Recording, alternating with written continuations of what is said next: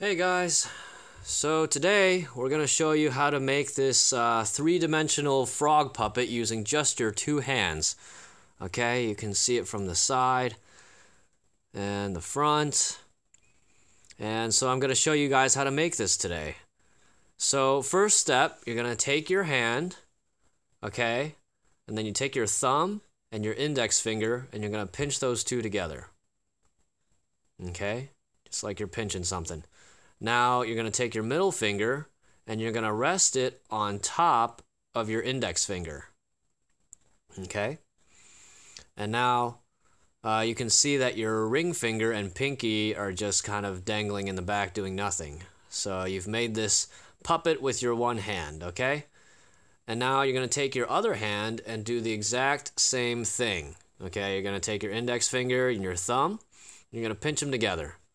Okay? Then you're going to take your middle finger and you're going to rest it on top of your index finger. And again, your ring finger and your pinky on that hand are going to be doing nothing. Now, the next step, you're going to take the ring finger of one hand and stick it through the eye hole of the other hand. Okay? Each hand you've kind of made these two eye holes using your index and middle fingers.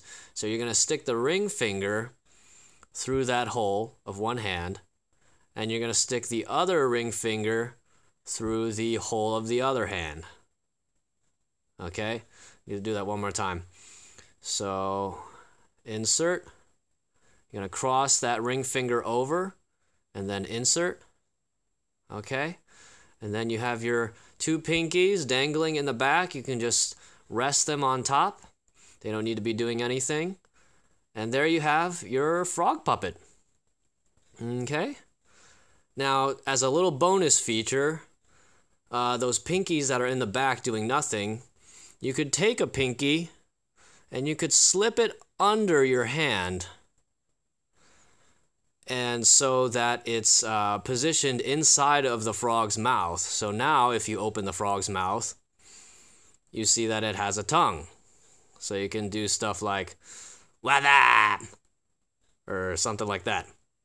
So you can see that this frog now has a tongue. So that's it's not the most comfortable position for this puppet, um, but uh, it adds a little flavor to it, I suppose. So yeah, so that's how you do it. Enjoy.